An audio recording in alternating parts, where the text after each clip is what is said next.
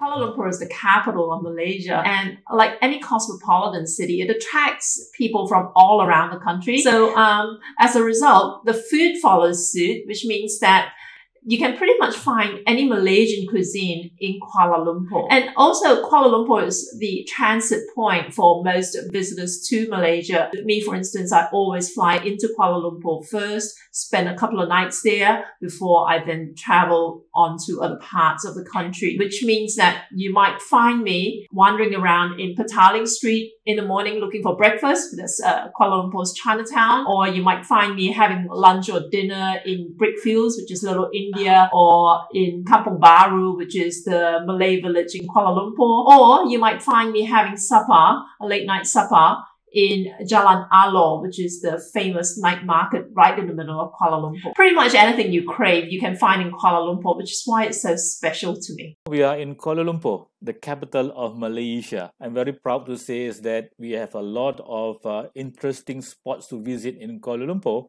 but I have pinpoint three places of interest which you must not miss if you are in Kuala Lumpur.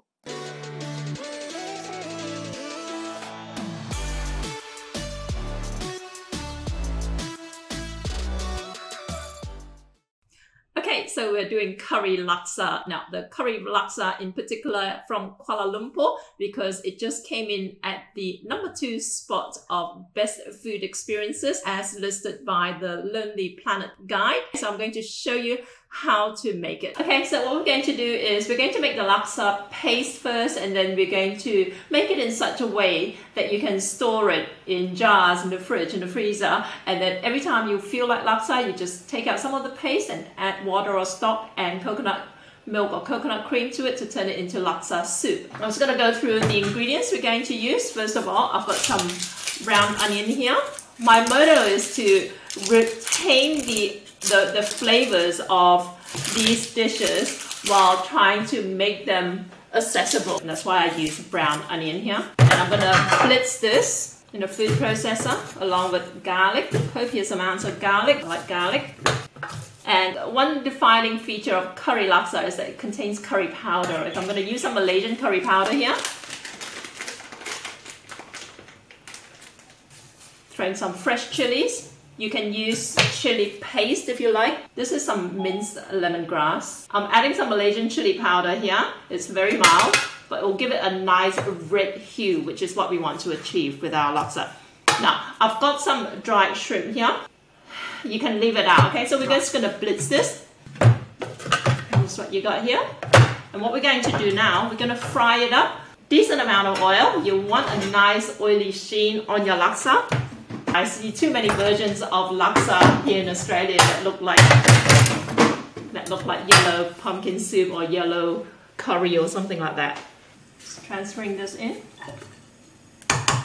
Curry leaves, and this is what you do with them. Just pull them off the stem and add them to your paste mixture. Now you want to fry this up. Now, if you've got a fair bit of onion juice in this, this will be quite wet, okay? In which case I would actually fry it dry before I add any oil to it. And you know what? We're gonna add the seasoning in this as well. because remember, we want all the flavorings in the curry laksa paste itself so that when you turn it into a soup, all you need to add is water and coconut milk, okay? So we're gonna put some chicken powder here, and a bit of sugar. I like to add the oil in, in stages.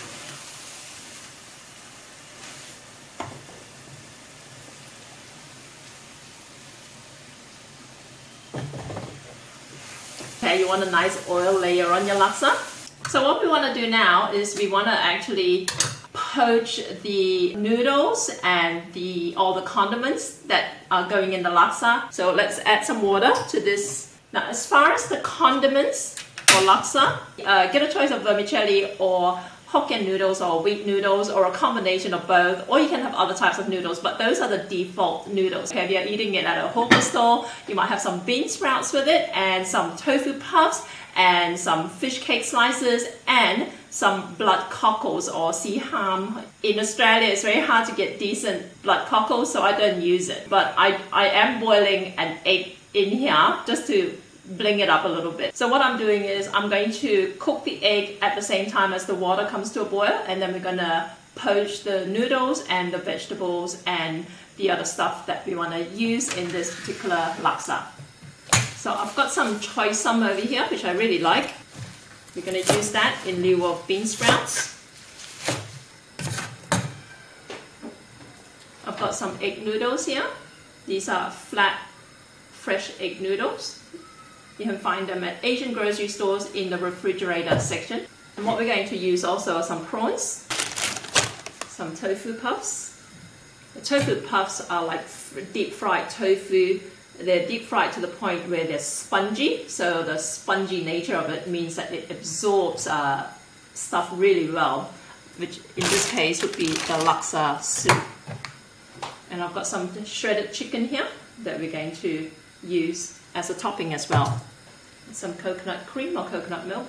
I usually like to boil the the stuff that go into the laksa separate to the soup. I do know that some people just make up the laksa soup and they cook the noodles in the soup itself. I don't like to do that generally, especially if I'm making a big amount, because the, the, the noodles tend to be floury and it would just basically, and whatever else that you cook will also contaminate the flavor of the soup. I like the, the soup to be as pure in flavor as possible. That's why I'm poaching them in a separate pot of water. So let's throw in the noodles.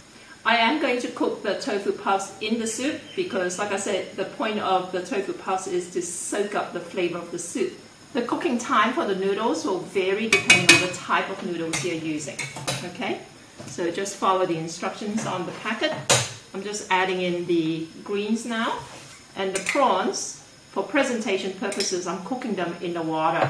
But if I were just eating it at home, I would cook them in the soup because I like the fact that the prawns will infuse the soup with more seafood flavor, right?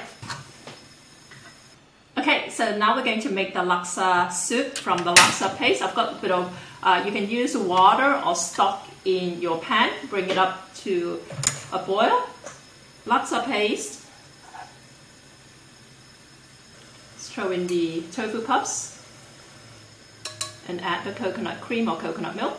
Really up to you how creamy or coconutty you like your laksa. Okay, so we've got the noodles, the vegetables, like I said, it's more typical for you to use bean sprouts in this and also vermicelli and Hokkien noodles, not these types of noodles.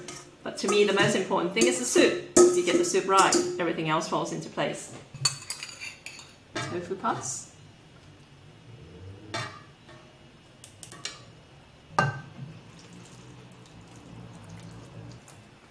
If you have some leaves, what we know as laksa leaves, what in Australia is usually referred to as Vietnamese mint or Thai mint or coriander, Thai coriander, right? You can garnish it with that.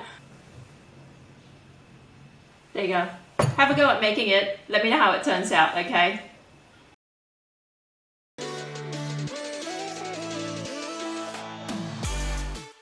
The first site you had to visit is a Petronas Twin Towers. So it used to be the tallest building in the world between the year 1998 to the year 2004.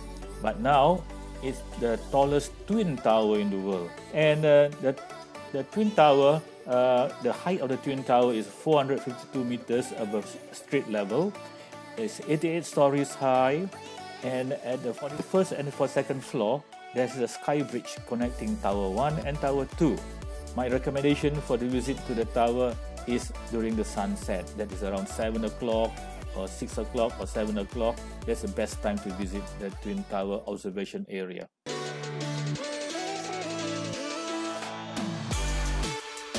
All right, everybody, it's Burger Day in Malaysia. burger. Well, I guess that's every day. But That's nonetheless, we're having burgers today. Got my burger shirt on.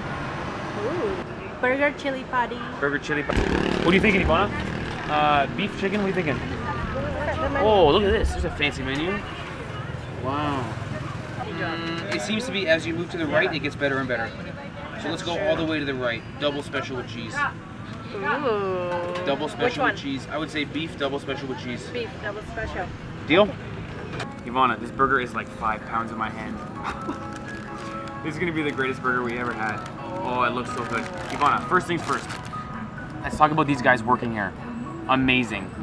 It's just so fun to watch them work. This guy's in a flow state. He's constantly chopping and moving. They must have turned out like 40 burgers in the past 20 minutes. Right? Like they working never so hard. This guy's awesome. I really hope this guy is getting rich. You know what I mean? He's just so like it's just so fun to watch him work. What an amazing thing. These burgers are chili powder, chili sauce, and chili putties. That's why he's the chili putty Ramly. This guy's awesome, man. Just the, like the entrepreneurship, the branding, the hardworkingness. I really hope this guy's getting rich. And the burger looks amazing. We saw him making ours, and it was like, it was like hilarious. Huge, gigantic burger. Two pieces of beef, uh, chili powder, chili sauce, chili putties, piece of cheese, and an egg wrapped around all of it. And the bun is like the smallest part. The patty itself is like a fistful of meat. I'm telling you, this thing is five pounds. And oh, also, they have roti john. Mm-hmm. So we saw them making one. We're filming. He's like, "You're making a movie? I'll give you roti john." So he's gonna serve us a roti john too, which is like a submarine sandwich with Ramly beef, Right. tons of chili in it. Oh, we got black pepper sauce on ours too. This thing's gonna be amazing, Ivana. Look at this thing. Okay, have the fir- first bite. Wow. Look at the size of the thing. Look at the bun on the bottom. It's a joke. It's a joke. The bun is like, Oh, the bun is smaller than the. wow. Honestly, this burger, it's touched my heart already. Just watching that guy work and him talking to us and him, hey man, make a video, make make my thing popular. Oh, I hope uh, I hope that guy's doing well in life. Okay. How is it? Oh, it's so good, Ivana. Oh. Oh, it's so good. It's quite spicy. Really? It's spicy and cheesy. And the Ramly beef has that unique Ramly flavor. So it's just Ramly, spicy and cheesy. And the uh, the sauce is sweet chili sauce, so a little bit sweet in there. Really nice. Wow. Mm. Oh, look at the chili. It's actually amazing. Look how big the burger is. My first two bites, I haven't touched the bun yet. the bun is still fully intact. two bites. Honestly, this video idea was Ivana's idea. Great idea, Ivana.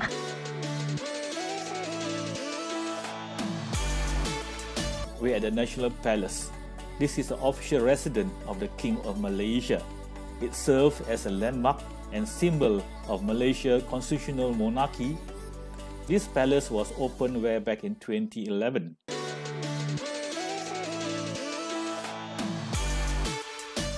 Hello everyone. Today we're going to do apam balik. Apam balik literally translated as uh, turnover pancakes. It has got simple ingredients, no yeast, so you can actually whip it up uh, easily in your kitchen. It's got peanut, other fillings like corn, margarine, up to one's uh, whims and fancies. It's very simple to make. It's yummy.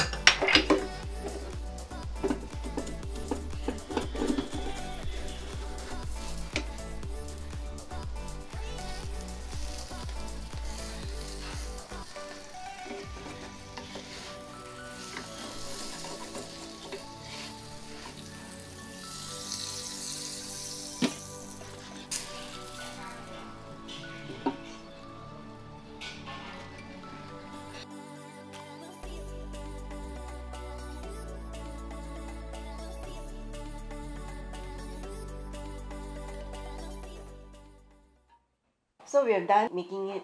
It's also known as terang bulan because as you can see, it looks like a half moon or shape. So what you do once it's uh, cooked, the sellers will just cut it into pieces like that. Sometimes you can see um, really large uh, pancakes being sold outside uh, at the night markets. We call it pasar malam.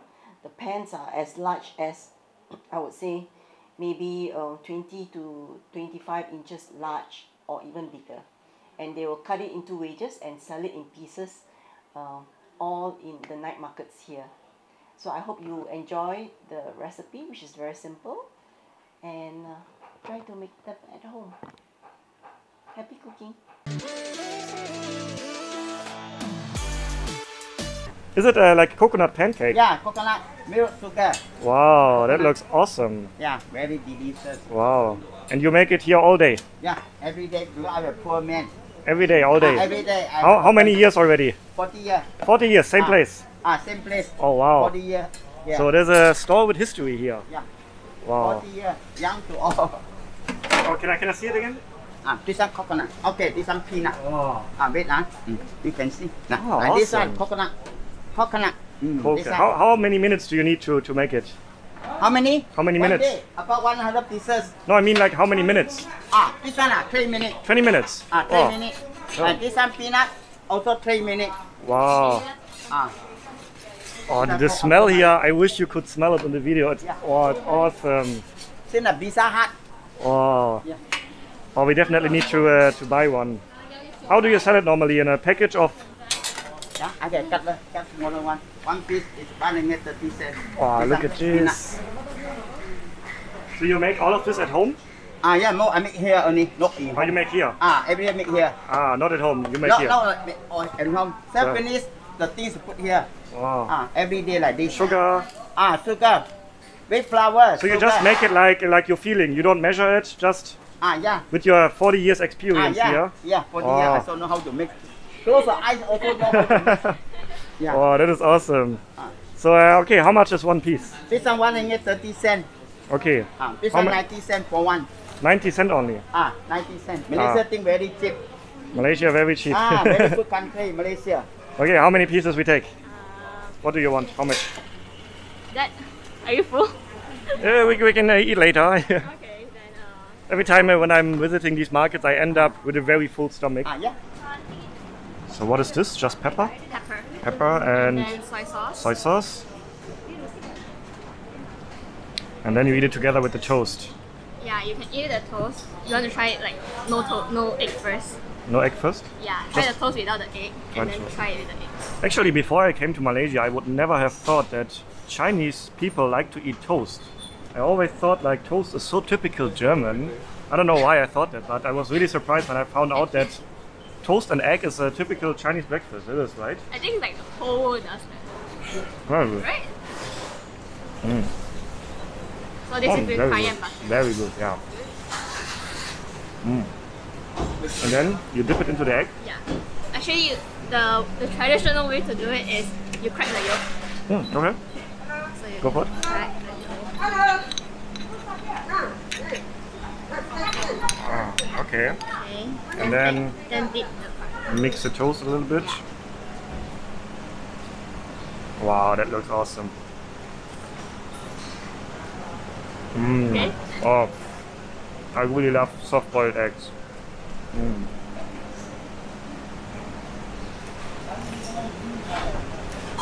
Awesome. Awesome breakfast. This is like the best.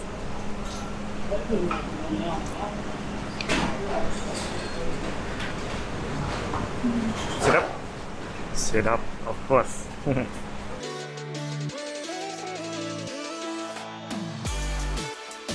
Okay, now we are at the National Monument. Well, it was opened way back in February 1966. It was proclaimed a memorial park dedicated to 11,000 people who died during the 12 years of emergency in, Malaysia, uh, struggle, which struggled for freedom and against the Japanese occupation.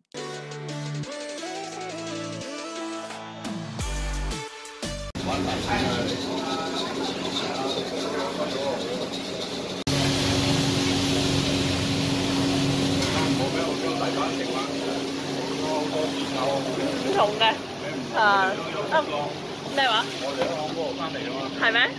喺嗰度幾耐啊？有幾耐？兩年。有咩跟啦？喺嗰度做咩？係咩？你係澳洲翻嚟啊？我喺美國翻嚟。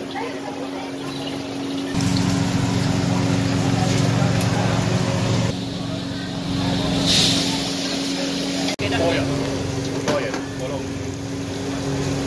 係一二六嗰度，一二六，嗰個熱頭，